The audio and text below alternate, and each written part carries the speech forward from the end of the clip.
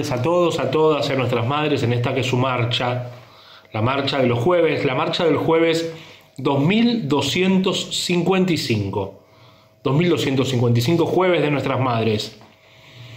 Hoy quería contarles las últimas novedades de una causa judicial escandalosa, realmente que ya tiene varios años de instrucción, y es la que investiga la deuda millonaria que la familia Macri tiene con el Estado y la propuesta de pago ruinosa para los dineros públicos que Macri le propuso al gobierno cuando él era gobierno para condonarse a sí mismo 70 mil millones de pesos. Sospecha, decía la interventora, que la quiebra del correo es fraudulenta, es decir, que no quebró por insolvente porque hizo malos negocios, porque le fueron mal los negocios, sino adrede, a propósito, para beneficiar con la quiebra a la familia que controlaba la empresa. Los Macri lo que querían era robarse la plata que le debía el correo al Estado. Lo que quiere Macri en la justicia de la ciudad es que le den la razón y ordenen frenar la investigación sobre el vaciamiento de la firma y de paso correr del expediente a la fiscala Gabriela Boquín, que es la funcionaria judicial que desnudó en pleno macrismo esta práctica mafiosa de la familia del entonces presidente Macri, por lo que fue perseguida en los medios e incluso judicialmente. Lo cierto, decía, y lo grave, es que este Tribunal eh, Superior de Justicia de la ciudad aceptó el recurso y le ordenó a la Cámara Nacional de Apelaciones que revise la sentencia contra Macri en la causa por el quiebre fraudulento del correo.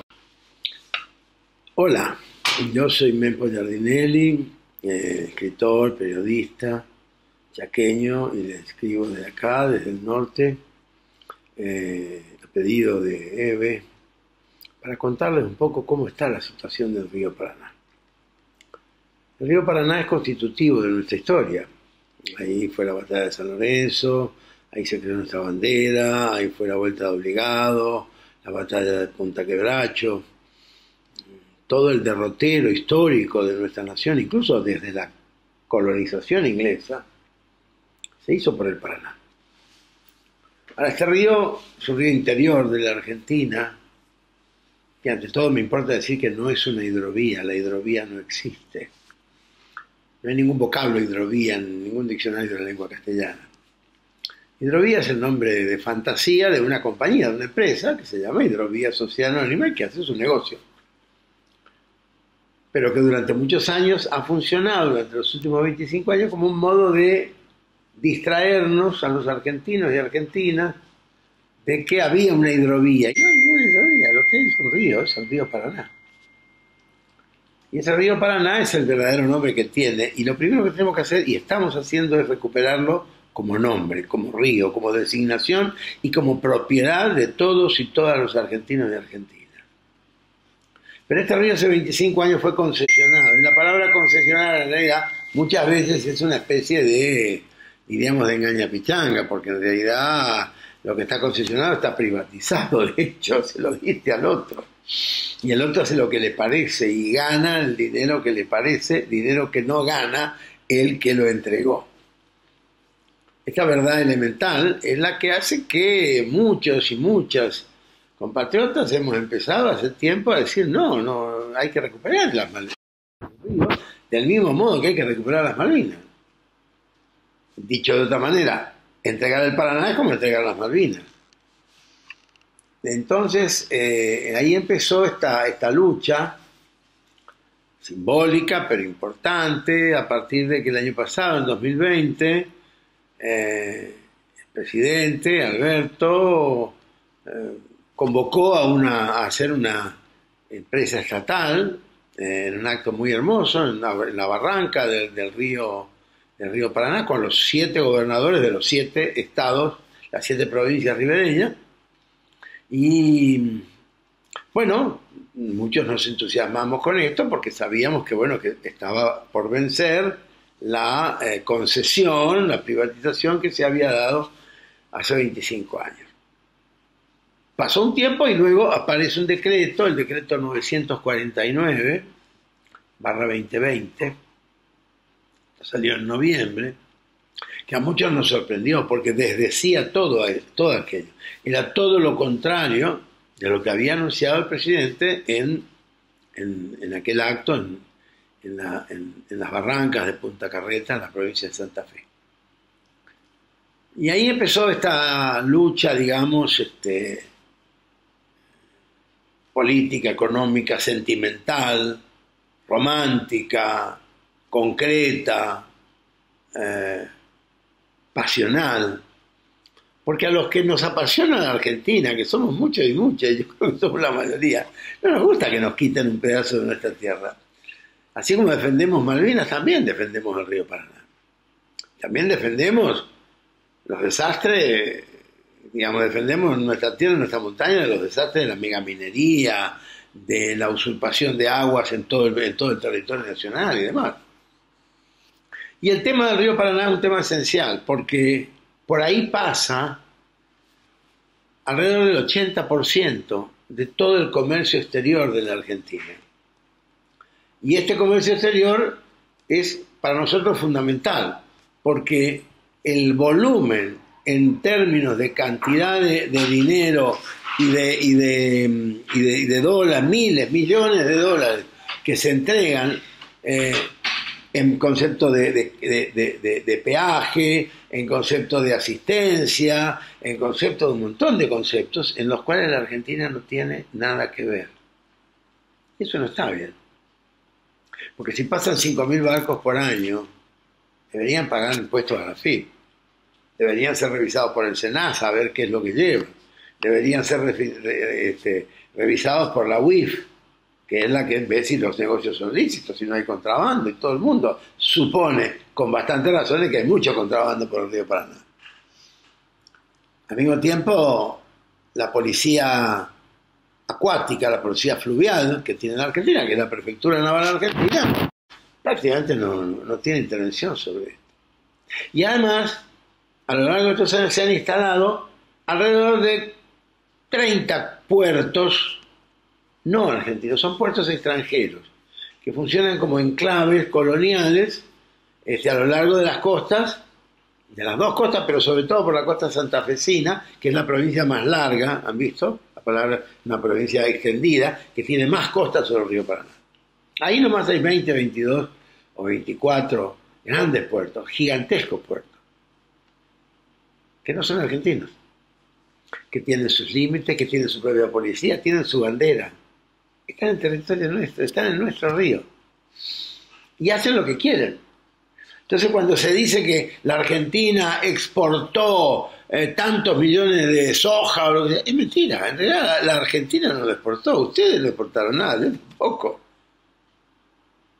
Los que exportan son 20 o 24 compañías multinacionales, que son ellas las que hacen el negocio con nuestra tierra, que es donde explotan, donde producen, y con nuestro río, que es por el que sale, ir a los argentinos y Argentina, no solo no somos propietarios, sino que encima no, se cobra un centavo.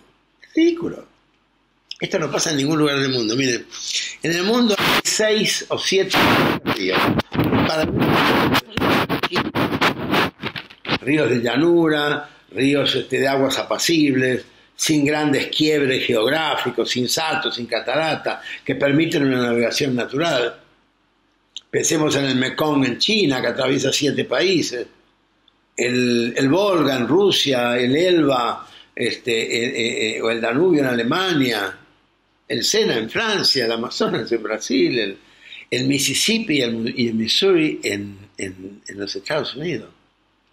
Todos son de cada estado. Ningún Estado entrega sus ríos.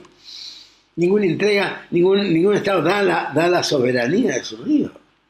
Todos los puertos son de las naciones. Los puertos más importantes de Europa, el de Hamburgo y el de Rotterdam, uno es municipal y el otro del Estado. En los Estados Unidos, todos los norteamericanos son del Estado norteamericano. Y los cuidan y los dragan las Fuerzas de los Estados Unidos, el Ejército y la Marina. Y para navegar por agua de un, de un río norteamericano, el barco tiene que haber sido fabricado en los Estados Unidos y llevar bandera norteamericana. Y yo tengo que decirles con dolor que argentina. Desde que yo era chiquito, yo nací en el Río del Río, desde que yo era chiquito, era nuestro orgullo Ver la cantidad de barcazas, jangadas y barcos que iban y venían de pasajeros, de carga, lo que sea, y era un festival de banderas nacionales. Eso afirmaba nuestra soberanía. En los últimos 25 años, ningún chico o chica vio banderas argentinas en el río Paraná. Eso es la obra de la hidrovía, la maldita hidrovía. Nosotros no queremos más eso. Lo que estamos pidiendo, estamos proponiendo, es que se recupere la, em, la soberanía.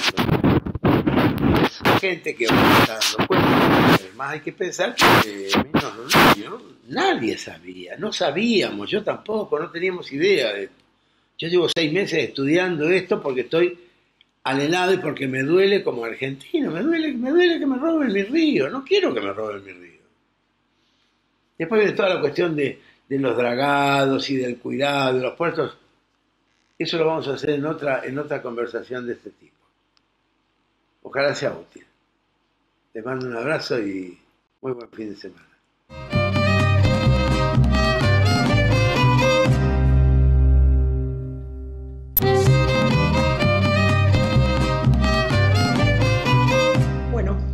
otra vez en esta plaza imaginaria, pero que para muchas madres se nos hace cierto. Un ratito antes de salir ya nos comunicamos que vamos a la plaza. La primera que me habla siempre es visitación. Y nos comunicamos y nos convocamos y, vamos. Y nos encontramos acá, en esta plaza, en esta cocina que convertí en plaza. Será virtual, será, no sé qué nombre le podemos poner, pero para nosotros es la plaza y la sentimos con esa profundidad, la respetamos, la queremos y la añoramos. La añoramos como parte de nuestro cuerpo. Así que bueno, para las madres salimos para allá. Hoy quiero hablar de un rato de Loana Berkins y de Ara Zacayán. A Loana la conocí muchísimo cuando recién empezaba toda esta lucha.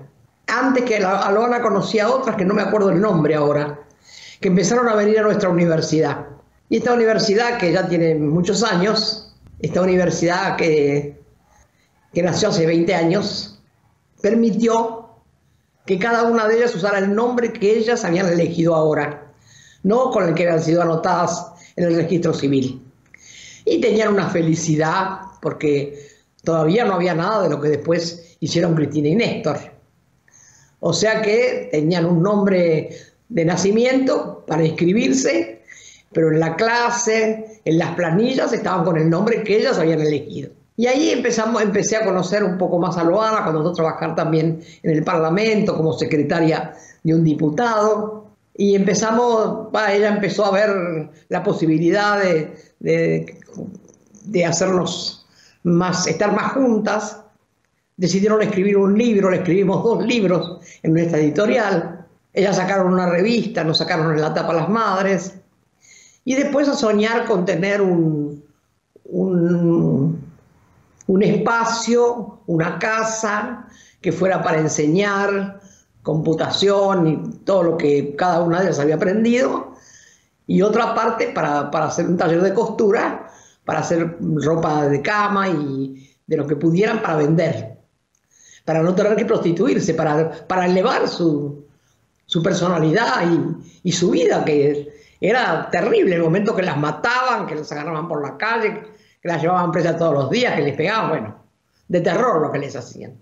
Así que se empezó a soñar con ese espacio, pero claro, cuando iba Loana a hacer el trámite, eh, su documento tenía otro nombre.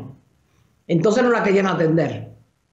Entonces yo les hice una carta, una carta que se hacer yo, y le puse que las atendieran porque tenían derecho, porque ellas querían hacer un trámite para comprar una casa. Y bueno, entonces cada vez que iban, Giovanna se mataba de risa porque decían, che, ahí están las travestis de Eve. Así que nos reíamos de eso nosotros, ¿no? Y llegó el momento.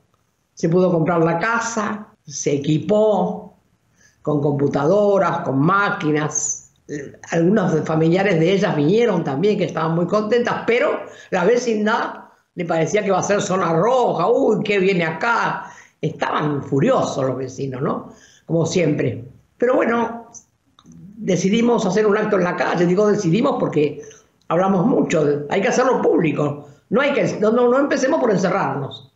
Así que se armó un escenario en la calle, ellas invitaron a Luis Eduardo Dualde, que fue con mucha generosidad, como hacía él, que estaba en todas las luchas más populares y más difíciles. Y fuimos dos organizaciones nada más, y yo fui con el cita. Fuimos con el cita y la verdad que fue un montón de gente porque además de todas ellas, algunos familiares habían ido, estaban muy contentas. Y los vecinos empezaron ya a mirar con otros ojos porque qué hacían las madres ahí, qué hacía otra gente, algunos artistas que vinieron también, ya empezaron a ver la cosa de otro color. Y fue un acto muy hermoso, muy increíble, para ellas muy bueno, y también para todos nosotros que uno aprende todos los días. Pero fue muy, muy gracioso porque los periodistas, los mal llamados periodistas, esas, esa suerte de buitres que están siempre en todos lados para joder, estaban intrigados qué hacíamos las madres ahí. Entonces, antes de empezar el discurso, uno me pregunta, Eve, ¿por qué viniste? Digo, lo que pasa es que ustedes no saben que yo también soy una travesti. Y se armó un lío que ni te cuento. Así que nada, ese recuerdo tan hermoso de ese lugar tan lindo que espero que siga estando. Lástima que Loara no pudo ver la ley. Pero yo felicito a todas las que siguieron después, a todas y a todos los que trabajaron para esta ley. Pero ahora les pido, yo creo que el título más importante para este paso que la única lucha que se pierde es la que se abandona, es una realidad. Porque a, Diana la mataron, Loana murió de una enfermedad muy terrible, que la tuvo mucho tiempo postrada, pero sin embargo hubo un montón que levantaron sus banderas. Y eso dio paso a esta ley. Ahora, compañeras, yo creo que les queda el tiempo más difícil, que es hacer que la ley se cumpla. Porque las leyes en este país se hacen, pero después no se cumplen. Fíjese usted qué pasa con el aborto. Cada vez que hay que hacer un aborto, hay ir otra vez al abogado, al juez, hay de 10 creo que hay la mitad hay que hacer un trámite, porque el médico no quiere, porque el cristiano no quiere, porque la clínica no quiere, porque el hospital no puede. Está muy difícil. Así que a ustedes también les va a costar lograr ese poquitito que han conseguido ahora. Pero bueno, ya es algo, pero que la ley se cumpla. Así que sepan que las madres seguimos estando para lo que nos necesiten, que me, me emocioné muchísimo el otro día con el acto, con lo que pasó en la calle. Me emocionaba mucho verlas en el Congreso, gritando y agitando banderas. Me pareció muy lindo, se ganaron un lugar, claro, con la sangre y la vida de muchos y muchas. Pero es así, la vida es así, es, es dura, la lucha es muy dura, pero cuando uno no la abandona y tiene claro qué es lo que quiere y qué es lo que le corresponde como ser humano, pasa esto. Se puede festejar. La ley está. Ahora que se cumpla que así sea. Están pasando tantas cosas que no sé por dónde empezar. Voy a empezar por el tema de las escuelas de la reta. Digo las escuelas de la reta porque las demás están en condiciones. Las de la reta tras de no tienen ni no tienen este calefacción la mayoría, no tienen agua en los baños, no están higienizados los baños porque no tienen lavandina. Y lo peor pasó la semana que terminó. Cuando terminó esta semana pasada le pidieron a los chicos que lleven mantas, abrigo, gorras de charpe y mantas para taparse. Así van los niños a la escuela de la reta. lo presenciable. Lo detestable es que la reta habla mucho de la presencia porque no le importa que estos chicos se enfermen y se mueran porque no son los suyos. Entonces no le interesa lo que les puede pasar. Él quiere saber que hace lo que se le canta. Que no le importa lo que dice Alberto, lo que dice Axel, lo que dicen los ministros. Él hace lo que quiere él se siente que es un verdadero dictador. Esa es la palabra. La reta es dictador, tiene sueño de dictador. ¿Cómo trata la ciudad de Buenos Aires? Lo hace un dictador.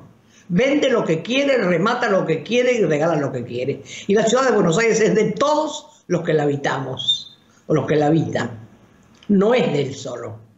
Por eso hay que ir ganándole los espacios y diciéndole lo que es lo que pasa es que no podemos decir cuántos niños están enfermos internados con el virus, que se contagiaron, que hay muchos, un montón.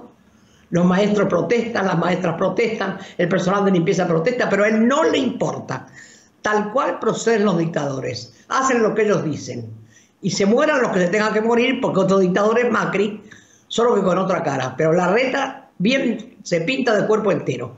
Yo hago lo que quiero. Me reúno con Fernández, pero después hago lo que se me canta bien de dictador. En la ciudad hace lo que se le canta. Quiso romper todas las plazas y hacerlas como nos nace y todo cemento. Hizo eso. No le preguntó a nadie si queríamos, si no queríamos.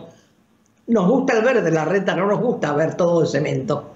Nos hace acordar mucho a Mussolini y a, y a los nazis, que hicieron todo de cemento, porque odian todo lo que tiene vida. Un árbol es pura vida.